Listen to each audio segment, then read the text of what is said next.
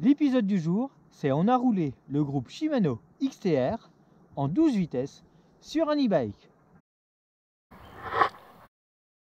Alors ce groupe 12 vitesses, c'est certainement celui qui fait rêver le plus les vététistes, avec ou sans moteur. Le Shimano XTR est depuis maintenant un paquet d'années le fleuron de la gamme. Et avec cette nouvelle transmission et sa cassette non seulement est magnifique, mais offre l'étagement le plus large avec un départ à 10 dents pour terminer à 51 dents, on a vraiment la transmission idéale pour un VTTAE. Hormis, on va dire, sans tarif. Puisque là, les limites de franchissement ne sont plus la pente, on va dire, mais l'adhérence elle-même. C'est un truc de dingue où ça peut grimper. Ces petites machines-là, et avec 51 dents, on a hâte de voir cet été en montagne, une fois qu'un neige aura disparu, le potentiel en termes de pourcentage. Alors, au niveau ergonomie, cette nouvelle commande XTR ne déroge pas aux autres Rapid Fire de la gamme Shimano. Pour monter les pignons, avec le pouce, avec le plus gros bouton. Et par contre, pour les descendre, on a au choix soit le côté pouce, soit le côté index. C'est la même fonction. Donc, on peut presser ou pousser. Changement de rapport sont rapides et précis. Alors, ce nouveau groupe XTR, qu'on fasse de la maniabilité, genre trial et tout, en termes d'ergonomie, rien à redire. Et là, on n'est pas sur un one-to-one, on peut vraiment passer les vitesses à l'envolée. Donc là, au test de la grande rampe, et voilà, on va prendre nos 36 km/h. Et là, hop, je passe les vitesses dans la bosse ça passe crème, c'est fantastique.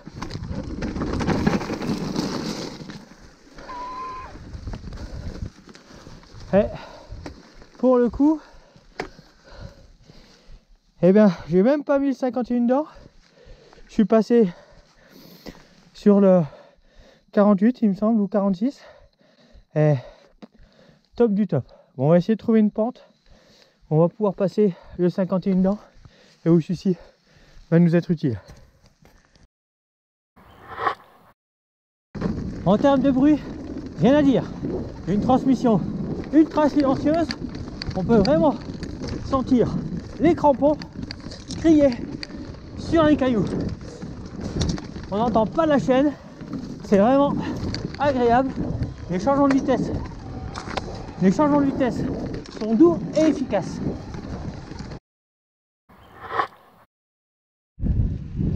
Bon, l'étagement de cette cassette permet des petites fantaisies bien agréables associées à la fluidité du moteur. C'est top. Bon, on n'a pas hésité à tester cette transmission XTR dans des conditions plus hostiles, à savoir de la neige, du froid et de la nuit. Mais bon, la nuit, ça joue pas pour beaucoup avec un bon éclairage. Et en tout cas, même avec la neige, aucun souci pour changer les rapports. Sans faute. Et là, il reste encore trois dents. Il y a vraiment de quoi faire. Allez, le 51 dents est vraiment court. On va vraiment pouvoir s'attaquer à des choses très très raides être réalisante cet été en montagne. Ça, ça va être bon.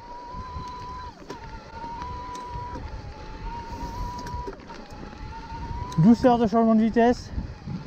Ah, c'est vraiment top. Alors, des gros avantages de ce groupe XTR, c'est que c'est super précis, super rapide en termes de changement le rapport de transmission de vraiment oser des choses. Ah, c'est. Hein, il y, y a vraiment quelque chose.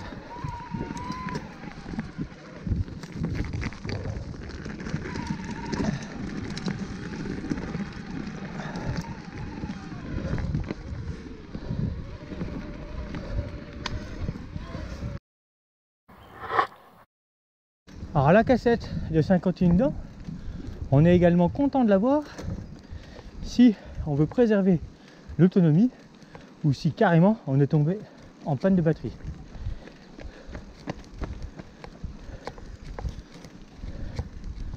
Parce que là pour le coup, eh bien, on a une bonne démultiplication. Alors, c'est quand même physique, hein. Mais bon, ça le fait.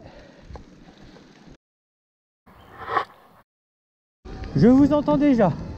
On n'a pas roulé les freins XTR sur ce bike. Certes, on était trop impatient de rouler cette nouvelle cassette en 10.51. Du coup, on n'a pas attendu que les freins arrivent. Bon, les freins, on les avait déjà roulés cet été, mais il n'y avait pas la transmission sur le vélo. Donc du coup, le freinage, on l'a déjà testé. On a fait un sujet là-dessus. Le freinage XTR est top, plus léger que le XT. Par contre, en termes de puissance et progressivité, vous ne serez pas déçus. Ça freine très très fort et la finition est à.